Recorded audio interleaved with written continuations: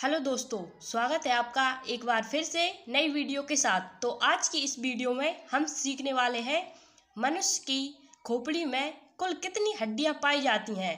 तो इसका right answer होगा बाईस। मनुष्य की खोपड़ी में कुल बाईस हड्डियाँ पाई जाती हैं। क्वेश्चन नंबर टू मनुष्य में गुणसूत्रों की संख्या कितनी होती है?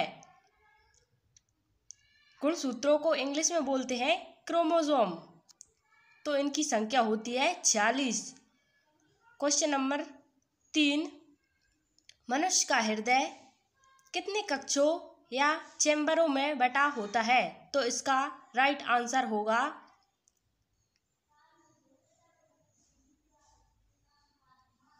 चार। मनुष्य का हृदय चार कक्षों में बटा होता है।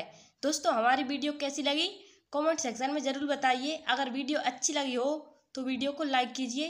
वीडियो देखने के लिए आपका बहुत बहुत धन्यवाद। थैंक